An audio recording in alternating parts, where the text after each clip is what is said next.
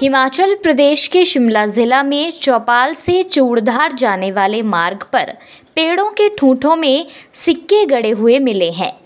ये तस्वीरें social media पर काफ़ी वायरल हो रही हैं। ऐसा माना जा रहा है कि शिरगुल महाराज की तपोस्थली चूड़धार की तरफ़ जाते समय लोग या तो रास्ते में भटकने के डर से पेड़ों के ठूंठ पर सिक्के गाड़ देते होंगे ताकि उन्हें रास्ते का पता चल सके।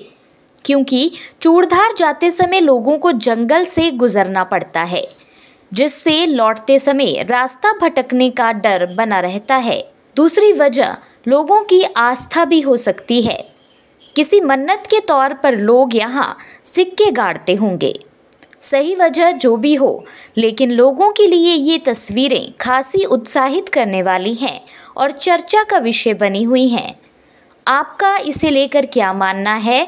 कमेंट कर ज़रूर बताएँ। हिमाचल और देश दुनिया से जुड़ी हर बड़ी अपडेट के लिए बने रहिए E W N twenty four news choice of Himachal के साथ।